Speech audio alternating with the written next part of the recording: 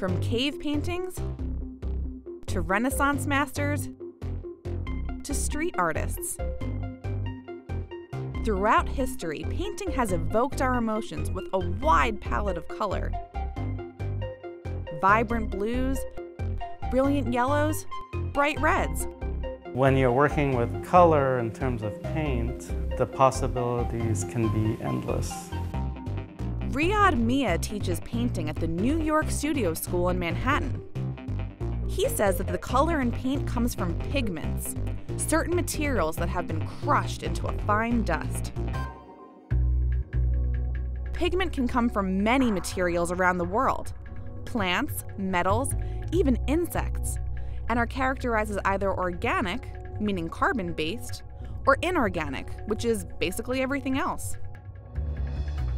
Some of the oldest paintings, dating back almost 40,000 years during the Paleolithic era, relied on natural pigments like ochre and umber, which contain inorganic material like iron oxides that provide red and brown colors. It's basically colors that would come directly from the earth. Do you recognize this painting? It's titled The Girl with a Pearl Earring by Vermeer. The beautiful blue color she's wearing comes from lapis lazuli, a mineral mined from deep within the mountains of Afghanistan. The pigment in the commercial market is called ultramarine. It's one of my favorite colors. Ultramarine blue, it's a very dark intense blue. But with advances in technology and a greater understanding of chemistry, scientists have been able to help artists expand their color palette with inorganic pigments. Inorganic pigments tend to have a longer brilliance and they don't fade as much.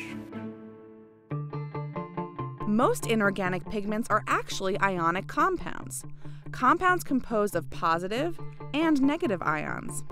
The positive ions in the ionic compounds that make up pigments are usually ions of transition metals.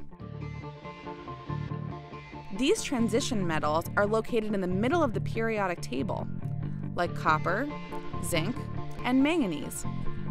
The color of these metal ions are what gives paint its color. So, what other transition metals are found in paints? Sometimes you just have to read the label on the paint tube.